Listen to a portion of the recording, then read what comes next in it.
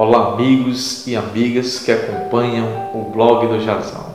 Você que em 2016 compartilhou nossas matérias, curtiu, comentou, meu muito obrigado.